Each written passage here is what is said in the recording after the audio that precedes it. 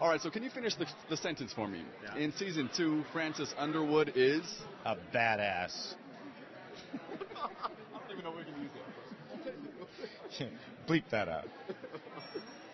How excited are you for fans to get their hands on these 13 episodes? I, I'm very excited. We uh, look. I I didn't think I could have a better time shooting season two than I had shooting season one, but I, I really did. I think um, part of it was I learned a lot the first season. I'd never done a series before, so just the stamina it takes to work the amount of days, the amount of hours, um, and also the complexity of where the scripts went, where the storylines went, what's revealed, uh, how, how the relationships continue to evolve, and we're taking our time to tell these stories in these sort of long arcs. For me, I had a blast, and I, I know uh, fans have been waiting, and I, I hear they even demanded that Netflix release it early because they're all stuck on the East Coast, and I, I hope everyone's safe uh, on the East Coast because it's a, it's a miserable storm that people are going through.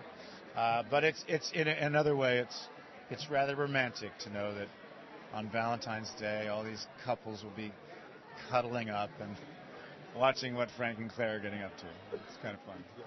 I know everybody has their own different way in watching the whole binge watching thing now. What do you think is the best way to watch this? What's your recommendation? Well, look, this is the great thing about it is is that by giving the audience absolute and total control over how they want to watch, you can treat a television series now like you treat a novel. You put it on the nightstand when you want to put it on the nightstand. You pick it up when you want to pick it up. You could stop in the middle. You could stop at the end of a chapter, of course. And I think that is um, audiences have dug that since box sets. So it's not that that's a new idea. It's that this is the first series that's ever done it, given a whole series to its audience. So I think it's pretty cool that they get to decide, not me.